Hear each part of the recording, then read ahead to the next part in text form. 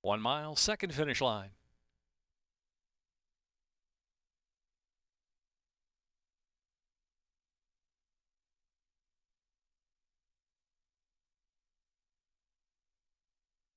And they're off. Good break at the inside for Vinny. Vinny's going right to the front there with Pit Stop Man, who counters right on back. So Pit Stop Man and Vinny head to head. Triple Tito's of the outside war novel and a break of five, and Captain Cardo is at the back of the pack.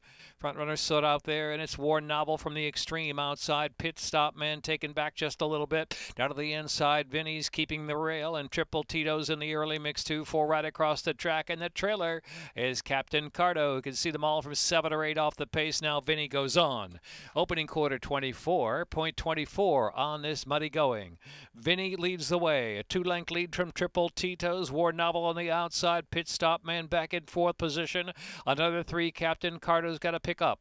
Into the far turn run, Vinny opens up, two and a half almost, three on Triple Tito's and War Novel. Captain Cardo's just past the very tired pit stop man.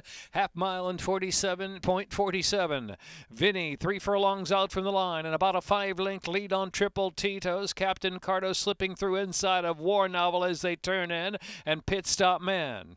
Top of the stretch, quarter of a mile left to go to the second wire finish, and it's Vinny. Vinny now let loose to a six length advantage from Triple Tito's and Captain Cardo down to the inside. Far back is War Novel. Through the last furlong, it's Vinny and all. Vinny, the X-Men, Vinny in front by seven lengths. Captain Cardo's clearly picked up second with a 16th of a mile left to go. Vinny at four to five. Coming home in the first. Vinny from Captain Cardo. Triple Tito's third. War Novel fourth.